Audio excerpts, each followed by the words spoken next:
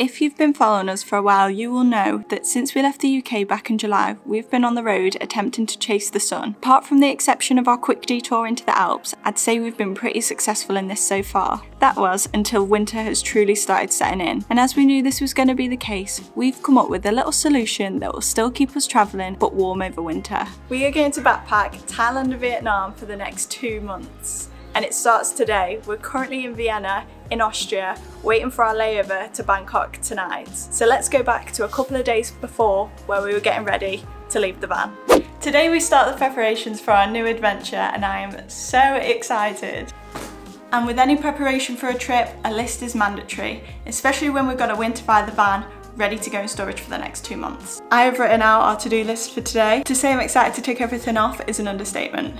We've got to get the van ready, clean it out, make sure everything is okay and no mold's gonna come. We've also got to turn off the gas, empty the water tank, and then get the backpacks and start packing. So let's get to it. And if you're wondering where we are, we've actually booked into an Airbnb in a city called Karlovac, just outside of Zagreb in Croatia. The weather has been forecasted to be very wet and cold, so we decided to check in here to be able to get everything ready and prepared for the trip. Are you ready, Mitch? I hate stuff like this. It'll be fun. Alright, okay, we'll see in 20 minutes time when we're ripping each other's hair off. oh, come on then. I also apologise for wearing the same outfit that I wear in every single video. But everything has been washed. You've only got so many clothes. I know, everything's been washed and obviously I'm not going to be wearing these type of clothes when we're away. So this is what I'm wearing today because all the our clothes are coming out of the van and hopefully getting packed well into these backpacks. Oh, it's raining. Like raining, raining. Oh man. Oh no. Oh man. This is really not ideal. We're meant to be getting this van dry and ready and it is chucking it down. I don't even know where to start now. Best thing to do will be take the clothes inside that we need to pack so there's less stuff in here Yeah. and get the backpacks like partly packed. See it, we'll pack, I think we should pack the backpacks first so there's more chance for the rain to stop. Okay.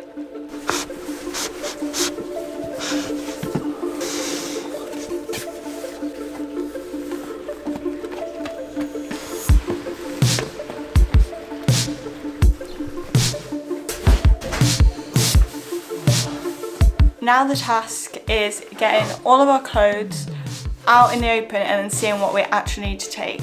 This isn't actually our first backpacking trip that we've done. Back in 2019, me and Mitch went on a trip around Southeast Asia and to Australia before returning home because of the pandemic. So I feel like we're pretty clued up on what we need to take, but we definitely want to take less this time as we know the struggle of carrying these backpacks on your back.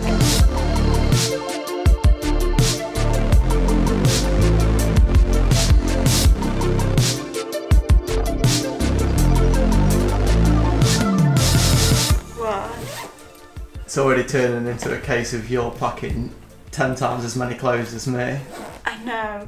But the thing is, I haven't been able to wear any of my like nicer clothes since we left the sun because I packed for the sun thinking that's what we were going to be in constantly. So now I'm getting like really excited because I'm seeing all my clothes again that I just literally have not worn. I don't think some things have even been washed since my mum last washed them for me before we left. So now I'm just getting really excited. I told myself I was going to pack really minim minimal. I think I've already picked out my clothes in like five minutes. You've well, got, it's not even started. you've got so much variation of colour, wow. So you're you're you're done? Well, yeah, and now I'm gonna have to wait about six hours for you to be done. We're probably going to have to go through a um, session of Mitch, do you think I should take this? And then Mitch telling me no, and then we'll cut that. We need to cut some of this stuff that I've got. Another thing to mention is that we've got check-in bag for our big flight over there, so to Thailand and back. However, with the trip halfway between to Vietnam, we have only gone for hand luggage because on a couple of flights last time we were able to get hand luggage with these backpacks and that was when they were like stuffed because we packed for a year. So we've still got to be mindful of the fact that we're going to take them at hand luggage at, one, at some point, especially with the toiletries. This is my backpack. It's a Osprey Farpoint 40 litre bag. Like Martha said, you can take these as hand luggage. So they're the perfect size, I think, for getting enough in and also not having to pay to check your bag in every time you get a flight. I've also got a 40 litre one by Osprey. I think mine's the Fairview, it's just the female version I think. But we actually fit so much in these backpacks. You can see that they kind of open like a suitcase, which is what we wanted instead of the backpacks where you have to stuff it all in from the top. We've even got our own little embroidered patches on it from last time, so we know whose is whose. What, not the different colours? No, I mean like when we get them on the flight and stuff and there'll be a lot that we'll experience but last time let's just say sometimes our backpacks we thought they'd got lost they'd been moved during night buses. There's a lot that we're going to experience when we're away and I'm so excited to be able to bring you guys along with us this time. But yeah that's actually really important to have so you do know it's yours especially for them yeah long journeys ahead.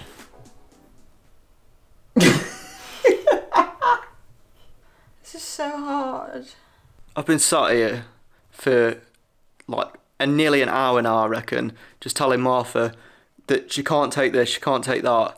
Mine's been packed for all this time. I'm just debating between shorts because I've got a dark navy, a blue denim, and a cream, and I'm trying to see how many pair with outfits, and that they're all neck and neck. Oh man, that's cra- yeah, it's really hard, crazy. But then I can't take three pairs of shorts. No. can't decide. I might have to try them on. Oh, for God's sake. I don't know. I'm just taking all three. You're not taking all three. Right, let's just pack it all.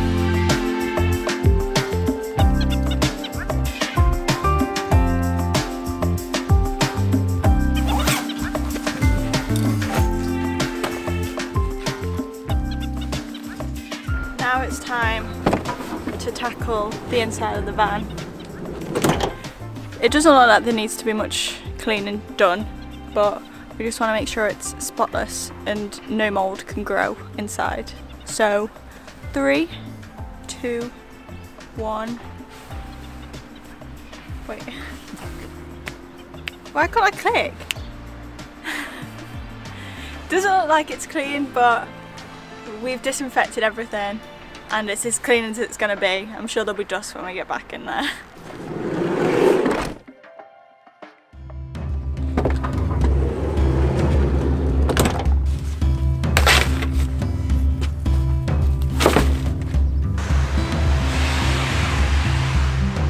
So that's it, we're all packed up and in the van. We're saying goodbye to our lovely Melina apartment here in Karlovac and we're going to start heading on our last drive in the van for two months to Zagreb where we'll stay tonight in the van ready for our flight early tomorrow morning. We've got a couple of chores to do today so we're going to bring you guys along with us for them and then hopefully hit up a Christmas market later which I'm really excited about.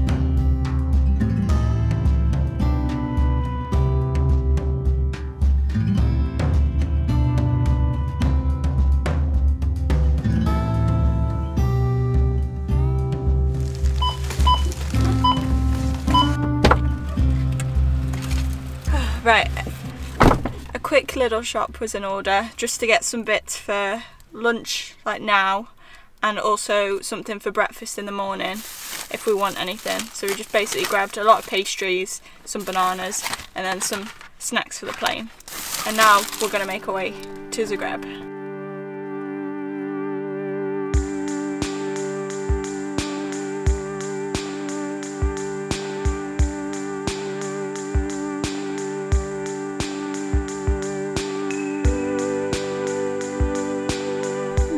Second job to do today is to wash this van so it's nice and clean for when we leave when we leave it today.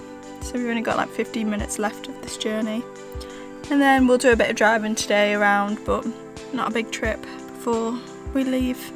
Sad times.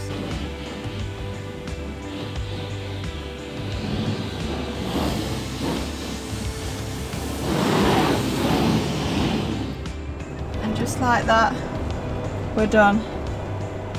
My hands are about to drop off. One thing that we did just forget to do when we were washing the van is empty the water tanks. So we're just going to do it here. Obviously we don't have a grey water tank so it is literally just water. So our solution is get in the shower and just spray it until it stops. Fancy a shower? Yeah. No. That's going to take ages. We've got 50 litres. Can I put the tap on as well? Yeah.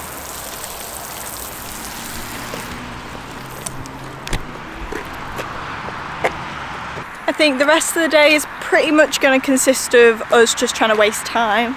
Not going to lie. It's just one of them things when we know that we've just got to be here now in the city until we go tomorrow and then obviously we want to go to the markets later.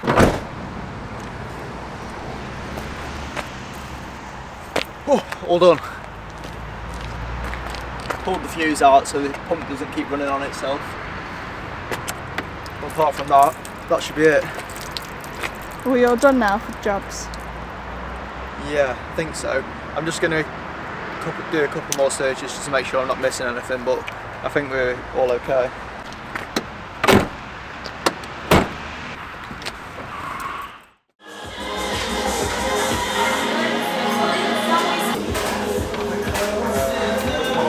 Well that was a nice little stop. We've just spent quite a long time in there, haven't we? Drinking and chatting and having a coffee, waiting for it to basically go dark so that we can go to the markets and it's just getting there now so I think we're going to head over there have a look around see what festive things we can find hopefully it'll put me in the mood and then yeah because I don't know how much more we'll see now in December going to Thailand so we'll have a look around and then we're to try and figure out where we're to eat tonight because we've got some cash and we're not allowed to drink or touch anything in the van nothing. The fridge is empty, everything's clean, and it's not being touched apart from us to sleep there tonight. So that's all we're gonna do. So we're gonna try and get some food out. So I have Find My MacBook on, Find My iPhone, whatever, and I've just had a notification that my MacBook's moved. But it just says, and that usually happens when we move from the Airbnb, say this morning, and then got back in the van. But it's just happened now, and we've been out the van for like, what, like three hours? and I just don't know and it's really set me on edge because one of the reviews on the Park4Night place where we parked that someone got something stolen back in like earlier this year so it's like been like in the back of our heads today but like it's been fine but then just to have that through it's like really put me on edge but we're about a 35 minute walk away from the van it's probably nothing but it's just weird that that's just happened so I think we're gonna have a quick-ish walk through I just can't like think straight now because I'm just worried about the backpacks because all of our stuff, backpacks and electrical bag are just on the floor in the back of the van ready to go for tomorrow morning. So it wouldn't take someone very long to get it. We'll have a walk through the market and then get back to the van I think.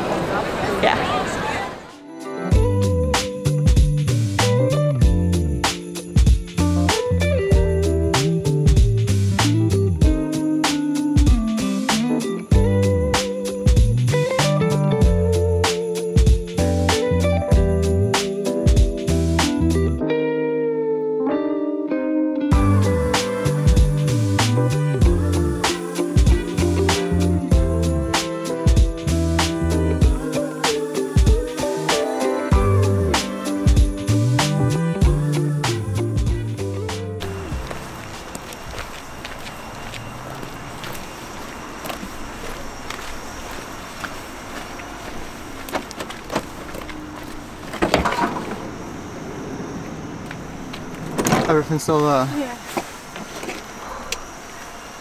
Oh dear me. Oh my god. Why did we do this to ourselves?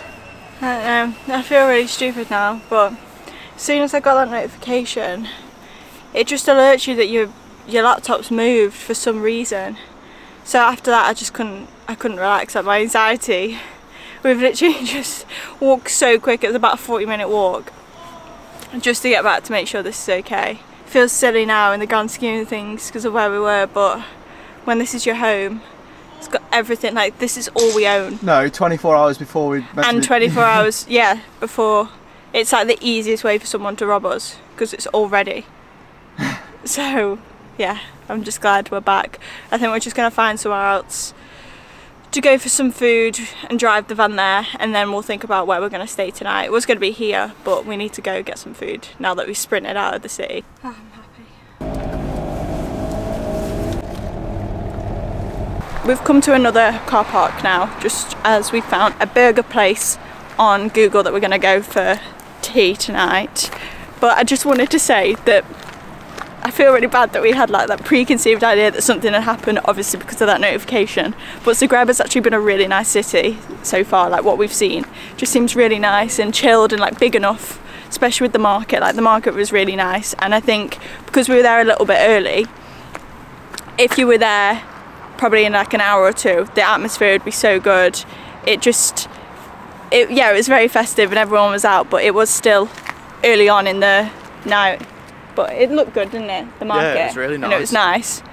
Very I think festive. it'd be nicer later on. Yeah. We was a little bit early, so people weren't like enforced. Yeah, so. yeah. You didn't like everything was there for it to be a really good market. Yeah, a bit of music, But- live music. Yeah, which they were setting up for. Yeah, would be nice. And yeah, just the atmosphere of everyone being there was just what would have been like would have been the cherry on top. But I think we feel a, like a little bit safer about where we're parking the van now. I think we're gonna sleep here tonight as well. yeah, I think this is where we'll sleep. So we're up bright and early tomorrow and the pay machine that you normally have to pay at is broken. So makes sense for us to park here in this little spot. Oh my god, it is cold in this van tonight. We've just got back from having food and it was so good. I'm feeling really full now, but I'm glad that we did go out. We're now just set up in the van, like the van is a little bit of a state. We've got like our clothes ready because it is going to be cold when we wake up in the morning. And yeah, we've not turned the chair around or anything. Mitch is here. Why you still got your gloves on? it's really warm in here. Yeah, I suppose after being in a, an apartment for a few nights, you forget how cold it does get in the van. But we should hopefully be able to warm it up a little bit and try and get a good night's sleep ahead of about a half five wake up tomorrow. And I'm really excited. Are you? What to wake up at half five? No, just like in general. Yeah, I'm excited, but I hate this time. Mm. I hate waiting until we go to the airport. Yeah, we were just saying that it's just like this. Like, although we know that we're prepared, it's the knowing that you've got to be up and like you, we, we're just waiting. It's very rare for me to get a good night's sleep before something like this. Yeah, I mean it's only quarter past seven, so we've got a long time to wind down. feels so much later. But yeah, I'm just so excited. I can't believe this is our last night in the van for over two months, which is just gonna be so crazy, such a completely different experience that we're gonna have, and I'm really excited to take you along with us with what we're gonna go through, show you like the ins and outs and just the complete culture change that it'll be. I'm really excited, and I'm hoping you guys are excited to watch that as well. And yeah, just see us still on a budget, but just with two little backpacks instead of a instead of a van. I'm excited to get back in the sun, like so excited. Just everything is going to be better. So now that our bellies are full, we need to get a good night's sleep, ready to wake up at the crack of dawn tomorrow morning.